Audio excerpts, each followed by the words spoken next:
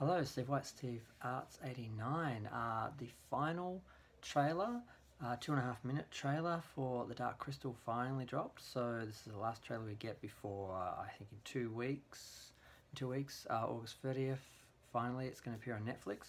And it looks pretty amazing, much like the other trailer. I was impressed. I was very excited to see this world, to be back in this world, to see it recreated. Um, now it's obvious. Now the only real issue with this show, or issue there really could be with this show, basically it's a prequel, and they go back to seeing the crystal being corrupted by the Skeksis, and the um, the darkening happening, and and just going into all that in the detail because we know how it ends up in the Dark Crystal. So that's interesting, and they can't really go wrong with that. We know where it's going to go. Um, the original series, the original movie was very diverse. It had female males, and, and like someone else was pointing out, um, Mecca was pointing out, they were different, and the differences, they needed each other because the differences helped. And that is really what society, diversity, humanity, male, female, just, just, it just was perfect in that it just simply captured that. And it's something I didn't really think about when I was watching it, but and that's something that they can't really screw up. Um, if they emphasize the women more or something, if, if they do try and, you know, um, put some gender politics in there, it's not really going to make much of a difference. It was never like a, a, a patriarchal, het heterosexual, straight, masculine um, movie or franchise, so they can't. I can't see how they can screw it up. So it looks pretty good on every level. The visuals, the themes, um, just just everything looks great.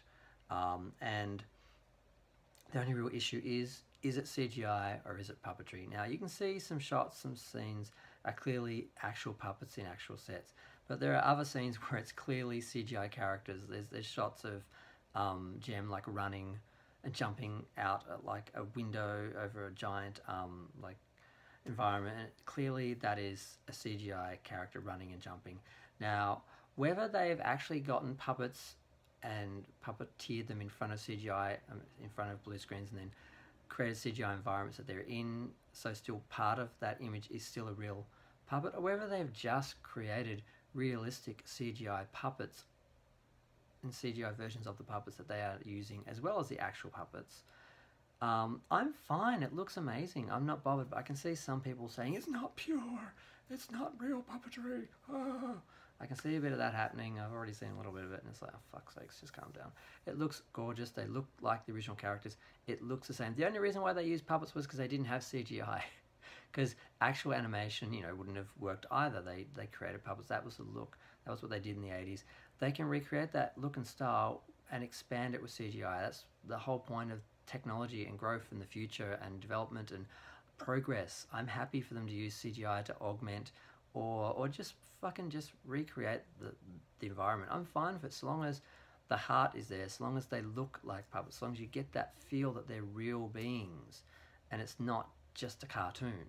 Now there were a few shots that looked very CGI actually now I think about it, just a couple like the one of the running because mentally you know that's not real whereas that's the amazing thing about puppetry oh god I'm just making their point the thing about puppetry is you know it's real. Even if you know it's fake and it's not real, you know it's an actual physical being in a sense that it's created and it's being puppeteered.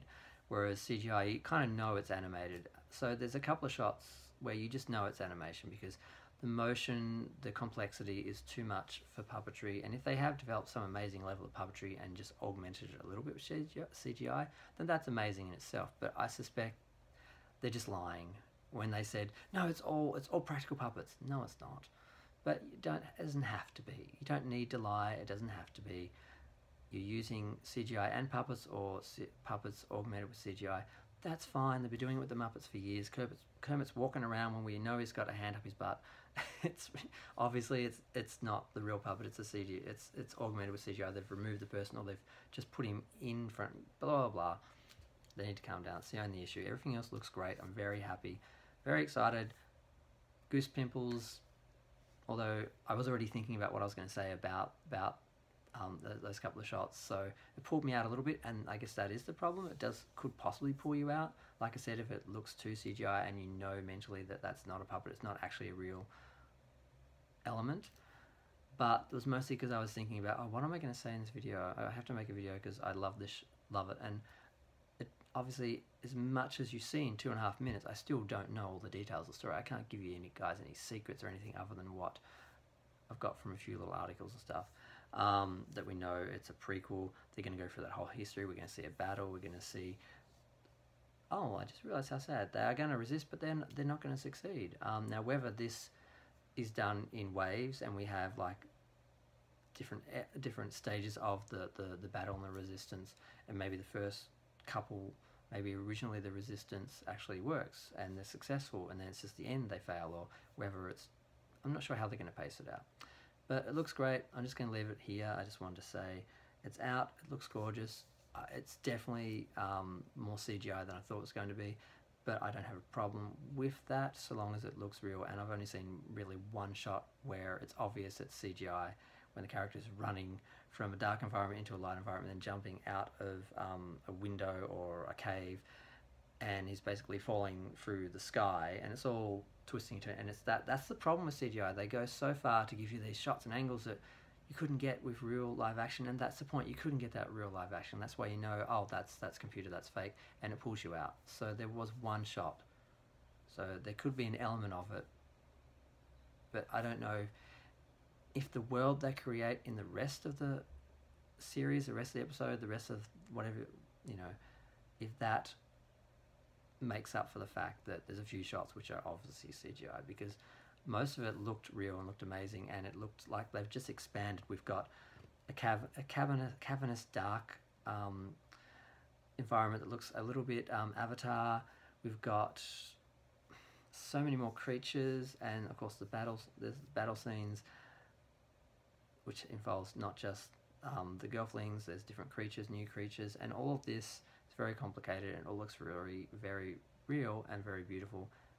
And they're expanding on the universe, and I guess they couldn't do that if they stuck purely to puppetry. So I guess it can't be 100% perfect. We're going to lose a little, there's going to be something a little bit off. There'll be one or two shots that pull you out because of CGI, but the rest, they're just going to make expand on the puppetry and make it amazing. So I think it's going to be a 99% hit. I think they're going to pretty much, I'm pretty happy with it. This is that one little concern of will they go too far with CGI? Will they be able to rein it in and keep it where it's just supplementing and um, enhancing the puppetry, or are they going to let it take over? So I guess I have that little bit of doubt. But um, overall, the preview looks great. I'm very excited. I can't wait. It's only two weeks away. Um, I don't know if they're going to drop the whole series or if they're going to do a week to week. But um, either way, I'm going to be watching it. So um, thanks for watching. Feel free to uh, like and subscribe and comment. I want to know what everyone else thinks. That's why I'm going to be watching everyone else's videos, but it'd be nice to have my own comments. thanks. Bye.